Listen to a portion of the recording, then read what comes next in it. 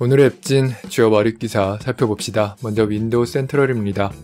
기대의 배신, 꼭 주의사항이 딸려오는 엑스박스에 대하여.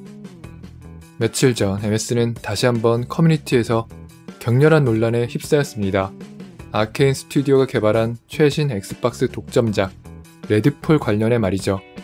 MS는 제니맥스 미디어를 인수하면서 머신 게임즈, 이드 소프트웨어, 베데스다 소프트웍스와 함께 아케인을 인수했습니다. 탱고 게임웍스가 출시한 하이파이 러쉬가 큰 인기를 끌면서 MS는 인수 이후 몇 가지 결실을 맺기도 했습니다. 하지만 아직 그 성과는 드문드문 보일 뿐인 것 같습니다. 여기서 드물게 보일 뿐인 것 같다란 표현을 쓴 이유는 현재 엑스박스가 어디로 향하는지 정확히 알기 어렵기 때문입니다.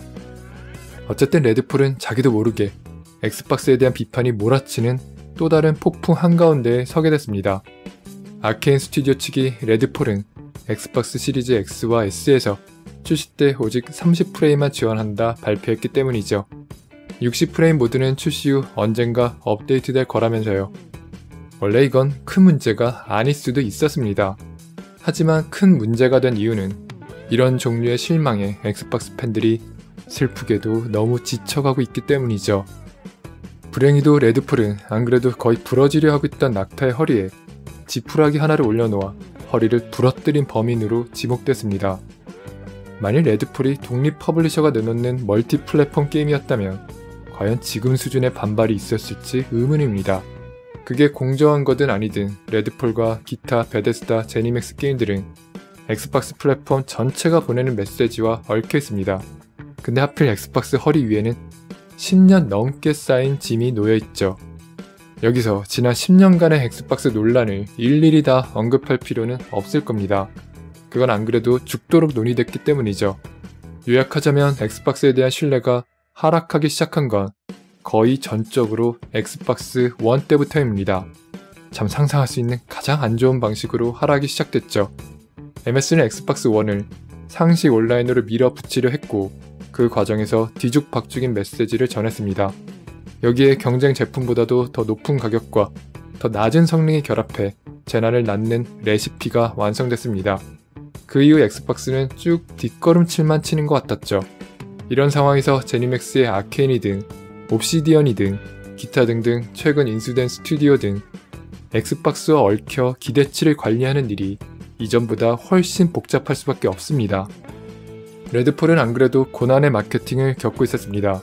과거 글쓴이는 아케인은 그 과감한 실험성 때문에 시장성이 없는 게임을 만든다고 말한 적 있습니다. 아케인은 글쓴이가 역대 가장 좋아하는 두 게임, 디스 아너드와 프레이를 만들었습니다. 그 데이어스 X에서 가져온 DNA가 영혼과 깊이 공명했죠. 많은 아케인 팬들이 똑같이 느꼈기 때문에 레드폴이 발표됐을 때 아케인 팬들은 회의적일 수밖에 없었습니다. 상시 온라인을 요구할 뿐 아니라 데스티니 같은 파밍 중심 게임으로 보였기 때문이죠.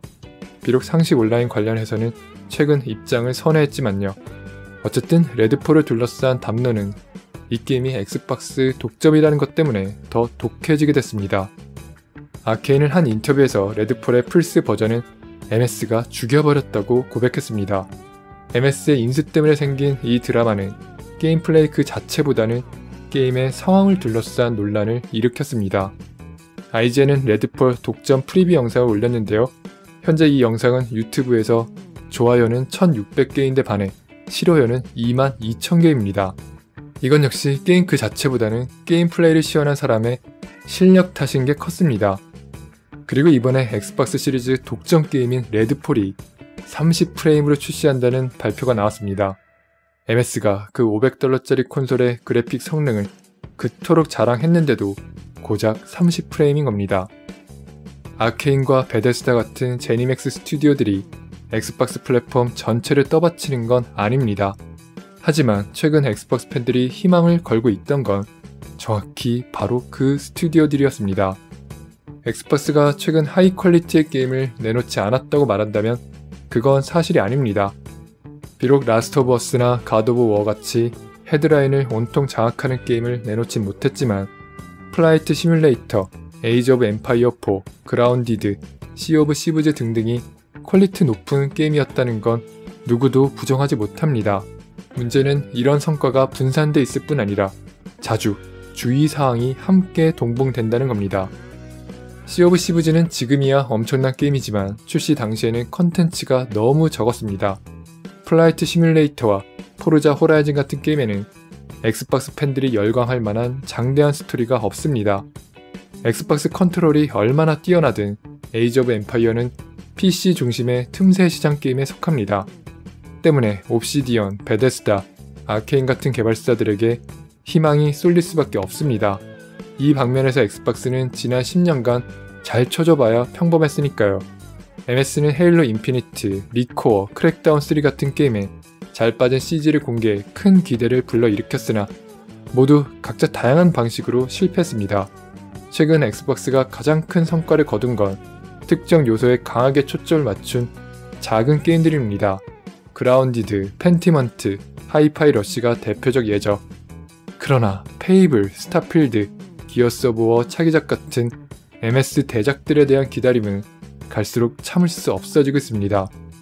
과거 MS가 얼마나 팬들을 실망시켰는지를 고려하면 그런 대작의 기대를 유지하고 더 나아가 엑스박스 플랫폼 전체의 기대를 유지하는 게 점점 더 어려워지고 있습니다. 아직 출시되지도 않은 레드폴에 대한 실망도 그간 부푼 기대를 안겼지만 실망만 전해준 MS의 행동에서 나온 결과입니다. 가장 지독한 예 중 하나는 마인크래프트의 슈퍼 두퍼 그래픽 팩입니다. MS는 대담하게도 차세대 콘솔을 위한 마인크래프트의 4K 리뉴얼을 문자 그대로 뮤지컬과 함께 공개했지만 그 프로젝트는 완전히 취소됐습니다. 현재까지도 엑스박스 시리즈 마인크래프트 버전에는 오직 MS만 알고 있는 이유로 인해 PC 버전에는 옛날부터 있던 shader가 없습니다. 스케일 바운드, 팬텀 더스트, 기타 화려한 CG가 공개된 게임들이 결국 공허 속으로 사라졌다는 건 말할 필요도 없을 정도죠. 근데 플스 같은 다른 플랫폼에서도 게임이 취소되고 프로젝트가 축소되기도 합니다. 때로 실패하기도 하고요. 왜 유독 엑스박스의 비난이 더 쏟아지는 걸까요? 그건 공정하지 않은 걸까요? 당연히 MS의 주요 경쟁사에도 온갖 논란이 많습니다. 닌텐도와 플스 역시 지난 세월 팬들을 실망시킨 적이 한두 번이 아닙니다. 포켓몬스터 소드 앤 실드는 수십 개의 인기 포켓몬들이 누락돼 큰 논란이 있었고요. 소니는 플스5와 플스 VR2에 하위 호환을 제대로 구현하지 않아 여론의 질타를 받은 바 있습니다. 라스트 오브 어스 PC 버전은 최적화의 부족으로 최근 가장 낮은 평점을 받은 소니 게임이 됐죠. 하지만 이런 논란은 어느 정도 긁어 모아서 이 정도입니다. 현실은 소니와 닌텐도는 그들의 팬을 훨씬 더 일관되게 기쁘게 하고 있다는 겁니다. 슈퍼 마리오 영화는 겨울왕국2를 제치고 역대 최고 오프닝 수익을 올린 애니메이션 영화가 됐습니다. 마인크래프트 영화는 2014년 첫 공개된 이후 줄곧 미아 상태인데 말이죠. 플스의 라스트 오브 어스 TV 드라마는 역대 가장 평점이 높은 비디오 게임 이식작 중 하나가 됐습니다. 그에 반해 헤일로 TV 드라마는 조롱만 받았습니다. 게임이 설정한 세계관과 완전히 다른 이상한 작품이 됐기 때문이죠. 엑스박스를 닌텐도나 플스에 갖다 대면 여러 지표에서 그저 암울할 뿐입니다. 그렇다고 엑스박스가 팬들을 기쁘게 할 능력이 없다고 말한다면 그것도 사실이 아닐 겁니다. 레드폴 논란을 차치하고 엑스박스 시리즈 X는 굉장한 콘솔입니다. 엑스박스 시리즈 S 역시 놀라울 정도로 저렴하고 많은 사람에게 콘솔 진입 장벽을 낮췄습니다. 엑스박스 게임 패스는 낮은 정기 구독료로 수백 개의 게임을 제공해 게임판 최고의 혜택을 제공하죠. 엑스박스 클라우드 게이밍과 그 기술은 인상적이고 매달 더 좋아지고 있습니다. 하지만 이 모든 게 그저 작은 위안에 불과한 것처럼 느껴지는 이유는 그것들이 MS가 경쟁사처럼 게임을 제공하지 못하는 상황에서 나온 부산물이기 때문입니다. 굉장한 가성비를 제공하는 것도 좋고 강력한 콘솔을 제공하는 것도 다 좋습니다. 하지만 게이밍은 사실 늘 게임에 관한 것입니다. 게이밍에 게임이 없으면 안고 없는 찐빵인 거죠. 그리고 우린 아직도 MS가 바로 그 게임을 일관되게 꾸준히 전해주는 날을 기다리고 있습니다. 60프레임은 나중에 패치합니다. 미안하지만 약속했던 화면 분할 게임 플레이는 취소됐습니다. 뮤지컬 트레일러를 약속했던 마인크래프트 기능은 죽었습니다. 이 게임은 엑스박스만 빼고 다른 모든 플랫폼에서 출시합니다. 따위의 주의사항 없이 말이죠. 엑스박스는 소위 콘솔 전쟁에서 3등이고 플스와 닌텐도는 무적처럼 보입니다. MS 자신마저 액티비전 블리자드 인수를 둘러싼 싸움에서 자기들의 시장 점유율에 관해 암울한 그림을 그렸습니다. 왜 그런 결과가 되었는지 가장 명백한 설명은 바로 게임 때문이라는 겁니다. 또 그 게임들을 얼마나 일관되게 전했느냐죠. 이번 레드폴 논쟁이 판매량에 영향을 줄까요? 레드폴 판매량이 엑스박스 게임 패스 세계에서 과연 중요하기는 할까요? 레드폴이 30프레임으로 출시하면 엑스박스에 의미 있는 타격을 줄까요? 그건 아닐 겁니다. 엑스박스 하드코어 팬들이야 이 뉴스에 민감히 반응하지만 더 넓은 gaming 커뮤니티는 그런 논란이 있는지도 모를 수 있습니다. 그러나 전반적인 정서만큼은 필터링 되어 전해집니다. 이유가 뭐건 간에 현실에서 플스나 닌텐도만큼 엑스박스에 열광하는 사람을 찾는 건 솔직히 쉽지 않습니다. 결국 엑스박스 팬들은 그저 이 플랫폼이 다른 경쟁사만큼이나 성공하는 걸 바라는 것 뿐입니다. MS가 제시한 기대치가 충족되는 걸 보고 싶은 거죠.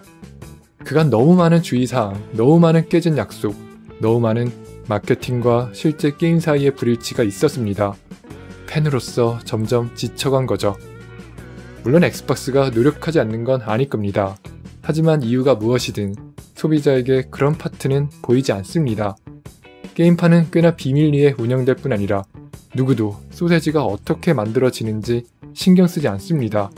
엑스박스와 그들 개발사가 하려는 건 전 세계에 걸쳐 엄청나게 복잡한 것들이고 엑스박스 직원들 역시 많은 열정을 가지고 있다는 건 분명합니다.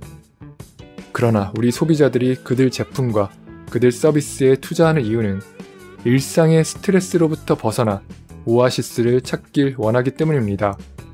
그러니 다른 플랫폼에 있는 사람들이 그런 오아시스 안에서 실망보다는 만족을 얻는 비율이 훨씬 자주 있다는 것에 질투가 나지 않을 수 없다네요. 그럼 오늘의 게임 뉴스 헤드라인에 모험냈습니다.